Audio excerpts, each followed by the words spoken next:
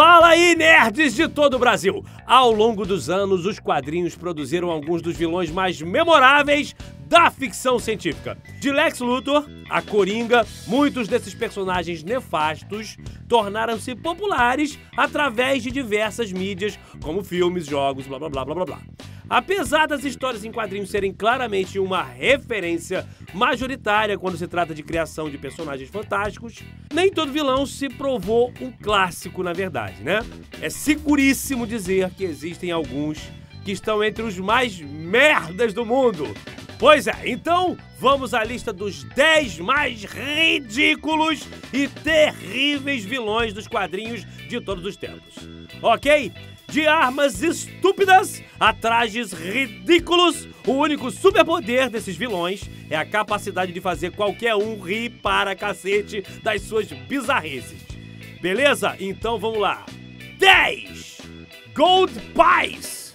Gold Pies é um vilão tão ridículo, tão escroto, que até mesmo seu próprio criador descartou o Mulambo. De fato, filho feio não tem pai, né? E ninguém vai sequer admitir ser o criador de Cold Pies, o vilão mais conhecido pela construção de um canhão diretamente na virilha. É isso, acreditem. Dentro deste canhão, Cold Pies pode tirar de tudo, como lança-chamas, pistolas, é, luva de boxe, tesoura, é, figurinha do, do Dragon Ball Z, enfim, a porra toda. Cold Pies também tem a honra de ter uma das origens mais hilariantes de todas. Na época da escola, Cold Pies convidou uma garota popular para um encontro, né? E sem saber como não magoá-lo, a menininha disse que ele não era grande o suficiente. Ela quis se referir à sua altura, mas Cold Pies ficou com um complexo de inferioridade sobre sua masculinidade. Pois é, é pipiu pequeno mesmo. Ele se tornou cada vez mais inseguro sobre isso quando ficou adulto, resultando em um dos vilões mais ridículos de todos, graças ao universo DC. Nota do tradutor: Cold Pies em português significa braguilha. Haha, moleque, pode rir. Deixa eu mudar essa página aqui. Foi! 9. The Slug. O atributo principal do Slug, lesma, é ser exatamente gordo. Ele tem um intelecto excepcional, mas é totalmente incapaz de se mover quando não está em seu hovercraft. Dando as caras por aí pela primeira vez em Captain America 325, para ser mais preciso, 1987. The Slug é um chefão do crime que já teve vários embates contra Homem-Aranha, Demolidor e o Justiceiro, né? Embora existam muitos supervilões fisicamente desafiadores e que ascenderam graças às suas mentes geniais, The Slug não é um inventor notável ou uma figura onisciente. Ele é apenas muito bom no crime embora não mais do que alguém famoso como o Pinguim, aquele baixinho lá do Batman. O criador Mark Grunwald comentou divertidamente: Naquela época eu achei que o homem de 550 quilos fosse um pouco exagerado. Mas eu li sobre um cara tipo assim na People. Ah, tá de sacanagem, Mark. 8. Walrus. Apesar de ser um dos vilões mais burros de todos os tempos, o Walrus é notável por ser muito bom em suas palavras cruzadas. ah, é?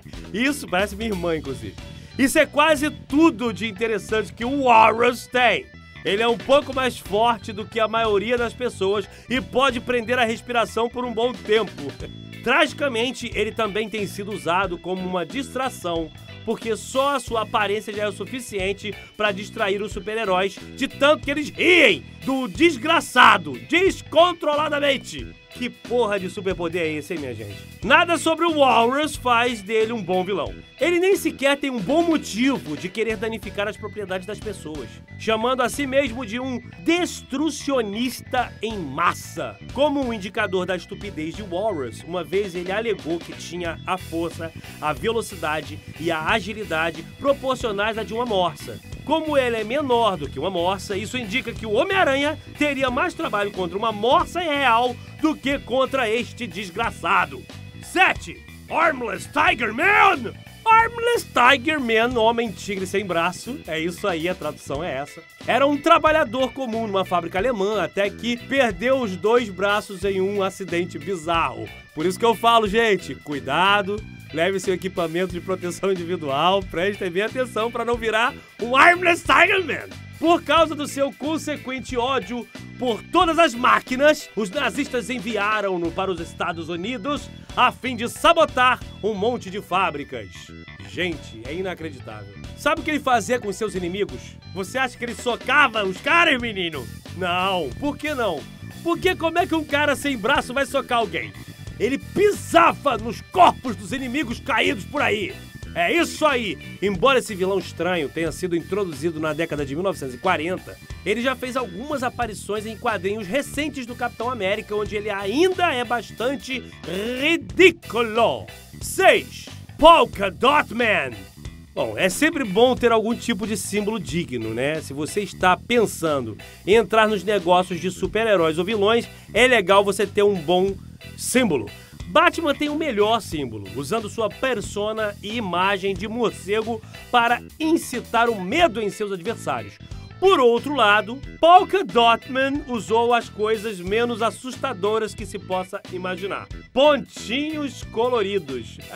é, simplesmente não há como ter medo de pontos coloridos, minha gente. É muito tipo, sei lá, Teletubby, para ser transformado em alguma coisa aterrorizante, independente do fato de que Polka Dotman encontrou uma forma de usá-lo como arma. Tá de sacanagem!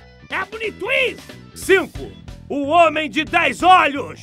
Bom, pela sonoridade desse nome, você pode pensar que Ten-Eyed Man teve seus nervos ópticos reconectados às pontas dos dedos, que aparentemente foi suficiente para deixá-lo enxergar através de cada dedo individualmente.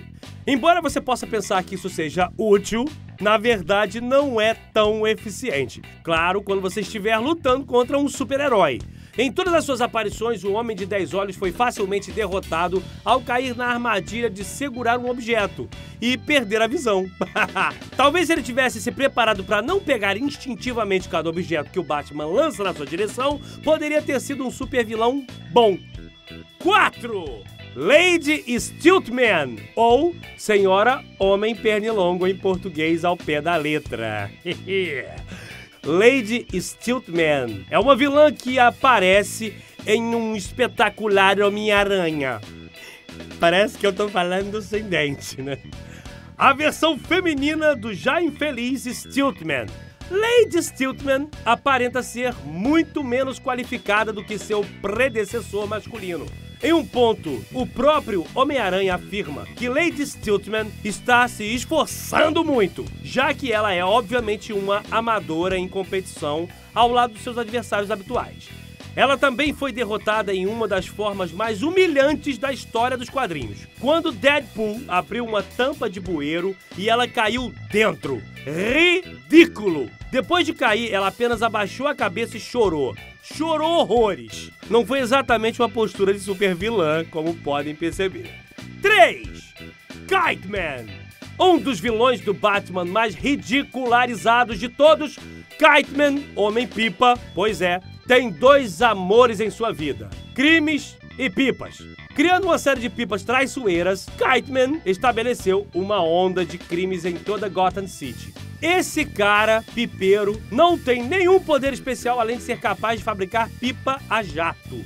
Uma pipa armadilha, uma pipa que cega seus perseguidores, uma pipa que degola motoqueiro e etc. O problema é que quase qualquer outro veículo voador é melhor do que uma pipa, óbvio. Um piloto amador de helicóptero é mais do que suficiente para pegar alguém flutuando no vento. E infelizmente, Batman foi infectado pela estupidez. A fim de capturar Kiteman, o Cavaleiro das Trevas fabricou uma série de pipas. Batman, pelo amor de Deus, não entra nessa, meu amigo!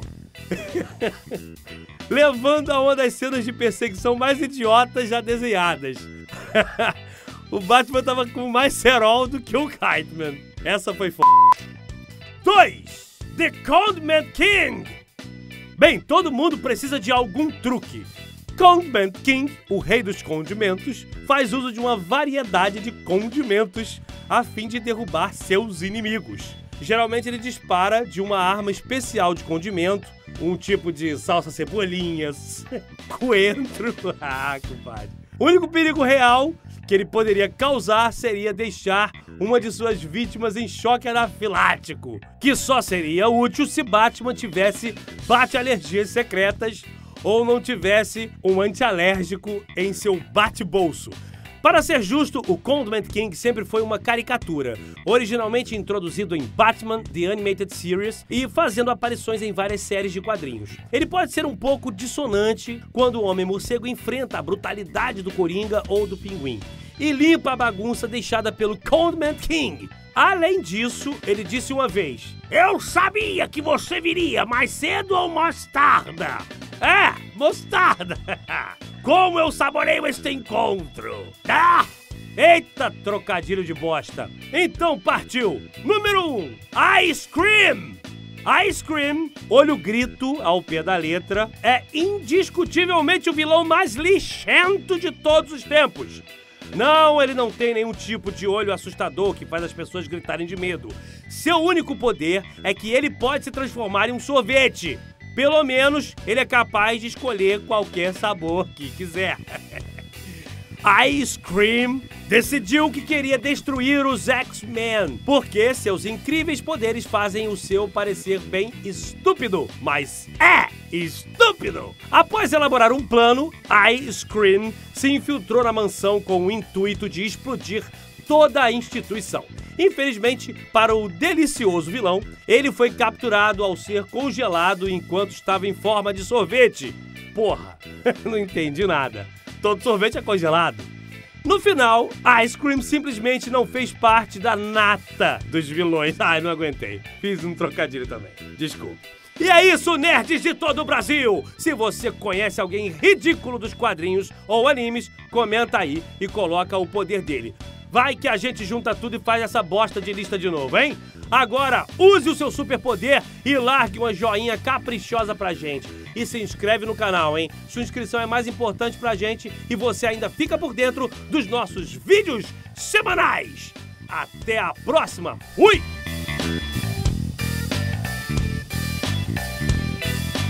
Thank